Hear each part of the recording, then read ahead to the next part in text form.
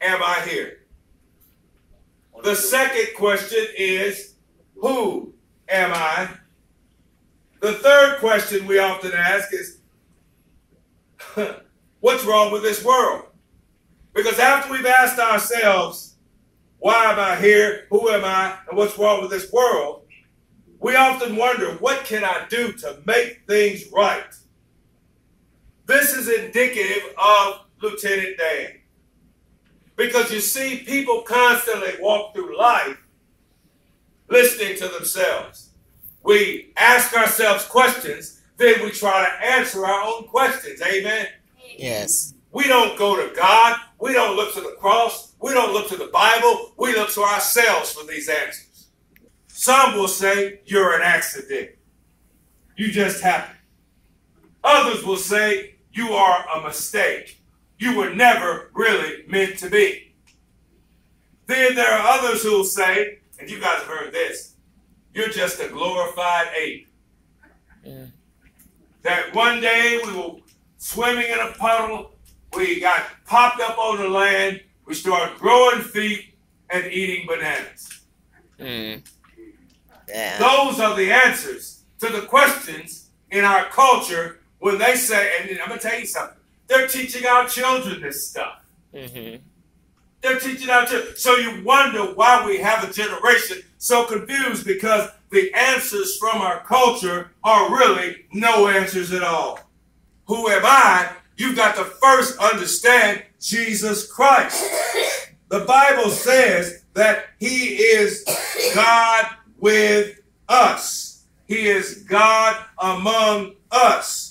And then the Bible further states in the book of Genesis, chapter 1 and 8, God created me for a reason and for a purpose. And people must understand that they were created for a reason and a purpose, not for randomness.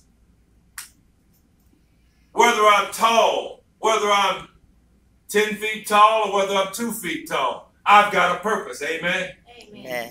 Whether I'm obese or whether I'm skinny, I've got a purpose. Amen. Yeah.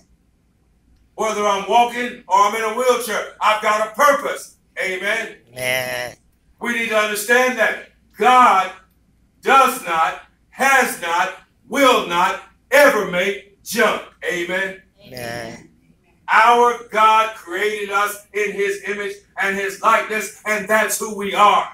And if we want to know uh, more about who we are, we need to look at Jesus Christ because he is the one who lets us know. Number two, we've looked at who I who am I? Why am I here? For those people who scratch their heads when they get up in the morning and say, Why am I here? What is my purpose? Well, our culture seems to want to tell you that you are here to enjoy life, to be a consumer, and to drink life all up, just like a bottle of water. Just take the cap off and pour it down. Drink, drink. As a matter of fact, they do the Budweiser commercials and some on TV, and that's what they're telling you. Drink life up.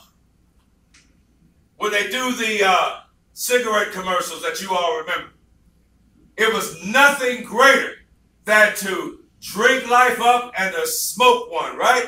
That's the way the old commercial should be. You're not living unless you are drinking and you are smoking. That's what our culture promotes.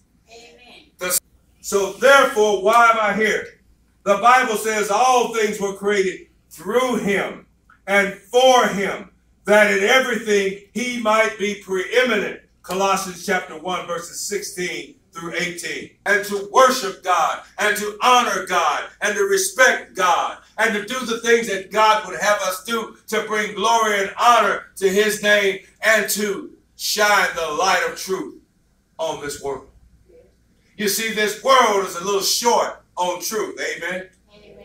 This world is so short on truth that we have hundreds of thousands of Lieutenant Dans out there. Amen. Mm-hmm. They're drinking, they're smoking, They're doing all kinds of drugs to try to escape what they see because they can't deal with life. They can't handle what's going on. So the best way to get rid of all of this pain and all of this uncertainty and all of this I don't know who I am and all this I don't know where I come from stuff is to smoke that marijuana and to do those drugs and to be drunk as you can so that you don't have to think about it. Mm. That's the world we live in. That's what our culture encouraged us to do. Fulfill and forget. Fulfill and forget. Fulfill and forget. That's what the world wants you to do. That's what our culture tells you to do. But the Bible says this. Three. Those people who can't find an answer to who I am or who am I, those people who can't find an answer to why am I here, they ultimately ask this question in their life. What's wrong with the world?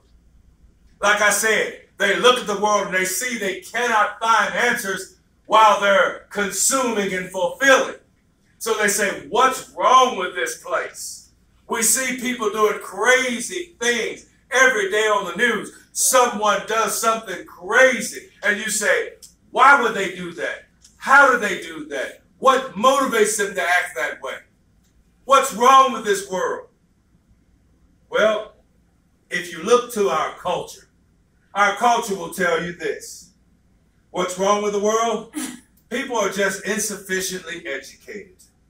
Let's gather around and fulfill our heads with, with education. Because you see, the more educated we are, the more sophisticated we are. The more sophisticated we are, the better off we'll act. And the more better off we act, the, the, the more quiet and loving our hearts and our neighborhoods will be.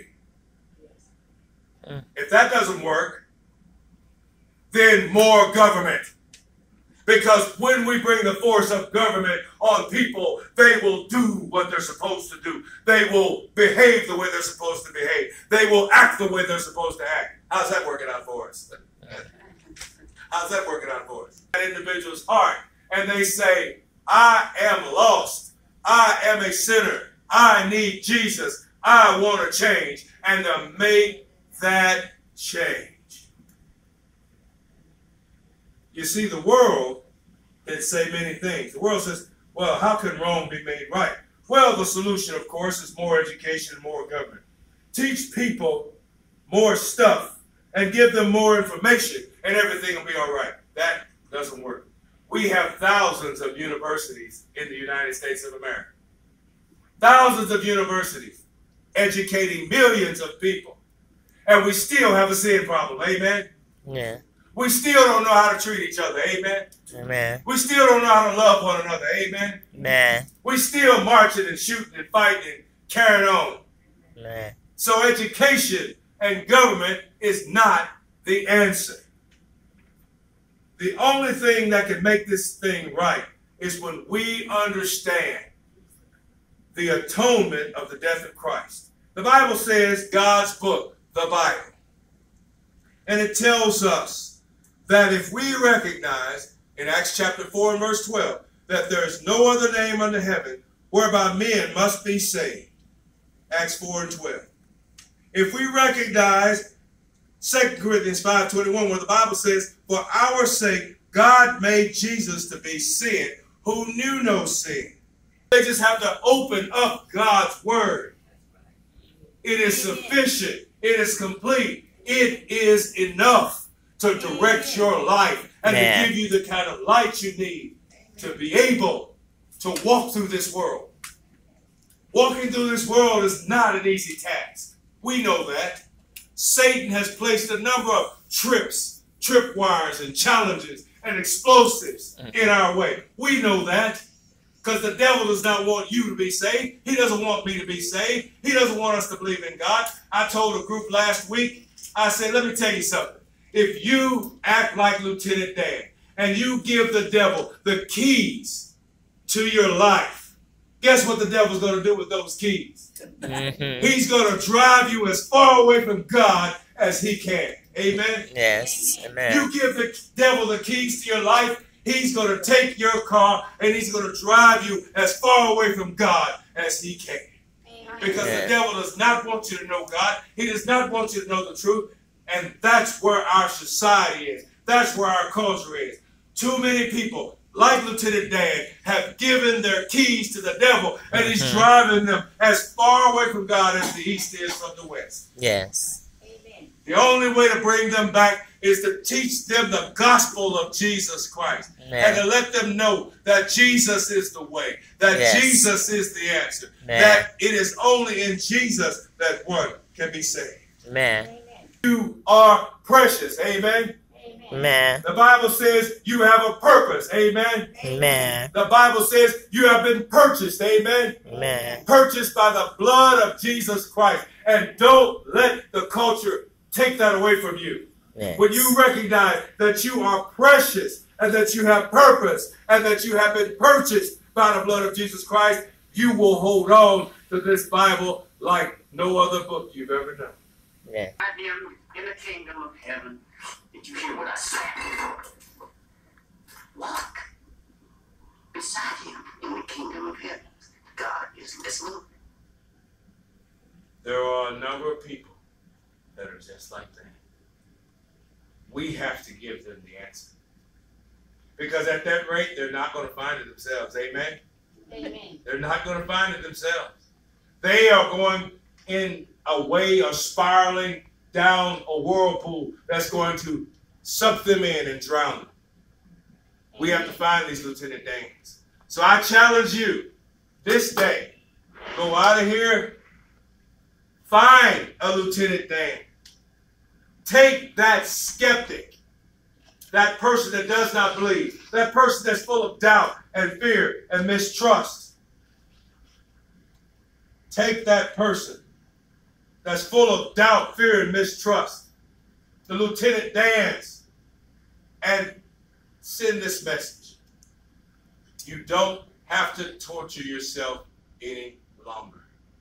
There is an answer for who you are, for why you're here, and for what's wrong with this world. There is an answer. Jesus is the answer. Amen. Let us pray.